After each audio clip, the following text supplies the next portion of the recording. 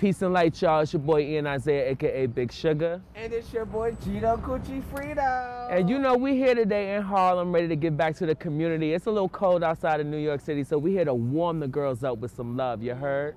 We want to shout out to Moose Knuckles and Marz because they said that they wanted to keep the community warm, so we decided to come straight to the street. And honestly, we could not have done it without them. You heard?